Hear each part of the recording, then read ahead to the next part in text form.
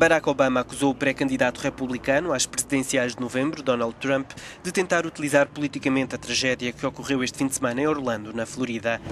O presidente norte-americano atacou a retórica incendiária do empresário contra os muçulmanos. Obama defende que é preciso defender as liberdades fundamentais no país e não incentivar a política do medo.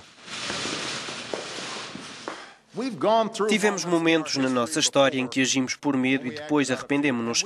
Este é um país fundado sobre as liberdades fundamentais, incluindo a liberdade de religião. Não temos testes de religião aqui. Se alguma vez abandonarmos esses valores, não estaremos apenas a facilitar a radicalização das pessoas aqui, mas também em todo o mundo. Teremos traído as coisas que estamos a tentar proteger. As palavras de Barack Obama foram proferidas depois do encontro do Conselho Nacional de Segurança.